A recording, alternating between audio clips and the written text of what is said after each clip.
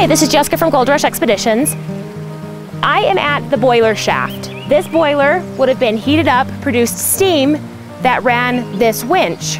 This winch would have had cabling that went up and over a head frame, over this shaft, and would have pulled the ore from the shaft up and down. This boiler tells me a lot. It actually came from Pennsylvania. There's a tag right here that says Erie City Iron Works from Erie, Pennsylvania. I'm also going to take you and show you some open pit mining. It appears that this is a very volcanic area where they're finding the ore and the miners of the day, probably later than the 1870s, came and they started to just pocket a bunch of areas. There's a whole bunch of little digs all across this mountainside where they were looking for gold.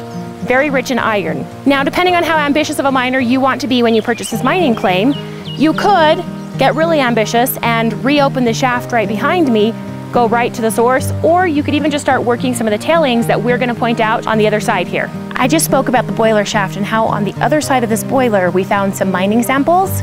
They're right here. I'm gonna give you a closer look of them. These samples are the production of more recent mining operations. They didn't have these kinds of things back in the early 1900s. Each of them are labeled, which tells us which parts of the mine claim that each of these came from. They originally could have come from core samples that then, because the dirt is pretty soft around here, they didn't get actual full core samples like you do in your harder granite and rocks. So they have just these little teeny tiny rocks in these samples. So there's prospects of all sizes, salt and peppered throughout the claim here. Giant ones like the one to the left of me, and smaller ones like the one to the right of me.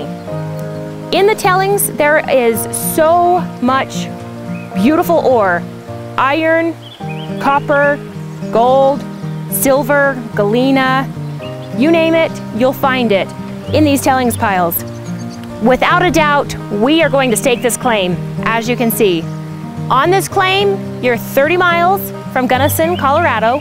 The roads to this site are beautiful. They're a little snow-packed right now. We're at the very end of May, but in the summer, once the snow has all melted, you'll easily be able to get a full-size truck up here. You've got the boiler, we saw at least two cabins and one place where there used to be a porta potty. Plus, you've got tons and tons of prospects and tailings that you can play with. For Gold Rush Expeditions, I'm Jessica Schuman, and we'll see you at the next site. This claim is available for purchase. And if you would like more pictures, more video, visit our website, www.goldrushexpeditions.com, or give us a call,